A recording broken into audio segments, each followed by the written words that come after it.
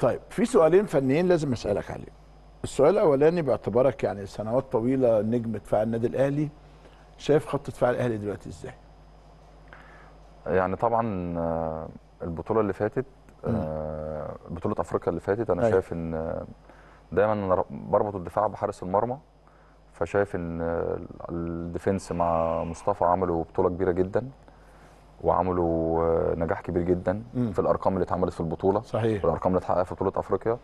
فدي حاجة كانت آه، كبيرة جدا وحاجة قليل إنها تحصل في بطولة أفريقيا. نعم. يعني أنت ممكن توصل نهائي بس بيكون دخل فيك اجوان بيكون مريت نعم. بحاجات كتير. فأنا شايف إن النادي الأهلي اتعامل مع الفترة دي بشكل كويس. مم. السنة دي آه، برضو الفريق شغال بشكل كويس. الشناوي والديفنس شغالين بشكل كويس. ممكن مباراة الزمالك كان فيها بعض الأخطاء والماتشين بتوع سيراميكا. نعم. آه، كنا إحنا أحسن وكنا إحنا أيوة. أفضل.